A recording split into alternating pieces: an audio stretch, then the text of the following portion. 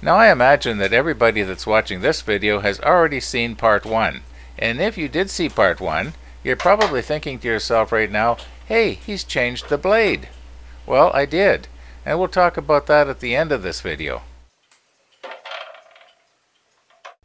Now I know for a fact there are people out there just waiting to see how I made my sawdust attachment for my big dust collector. Well, you know, I spent almost three hours fooling around trying to make a plywood scoop that would fit on the end of that big hose. And while I'm doing this and getting a little bit flustered, it all of a sudden came to me, this is not complicated. Well, as you can see, this is as uncomplicated as it gets. And the best part is, it works. Okay, let's talk a little bit about the blade. I just got my hands on this today. And you know the old saying, live and learn? Well, I didn't realize that you could get a thin kerf blade in 12 inch like this. Now please don't get me wrong, that CMT blade was a real sweetheart of a blade. Uh, but you know, as far as I can tell, it's more than twice the price of this one from Bosch. And this one from Bosch with the thin kerf might turn out to be actually better for the type of stuff that I do.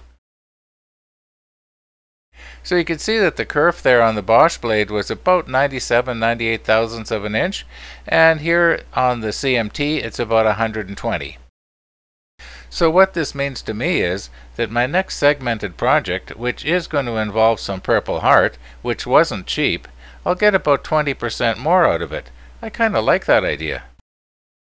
Okay, now you're going to get to see two things. First of all, you're going to notice how well this dust attachment works. You're not going to be seeing sawdust go flying around all over the place.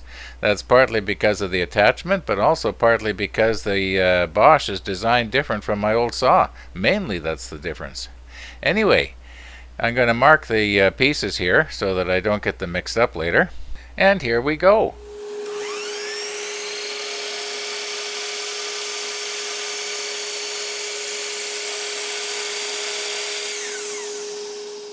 Now please don't think that I keep at this until I finally get a take that was just right. This is the one and only take.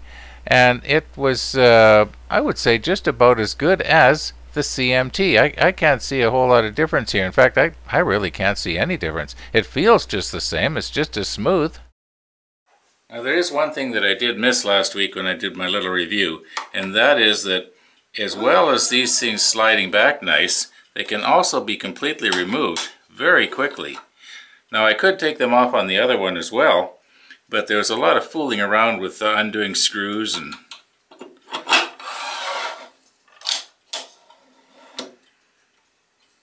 This is nice.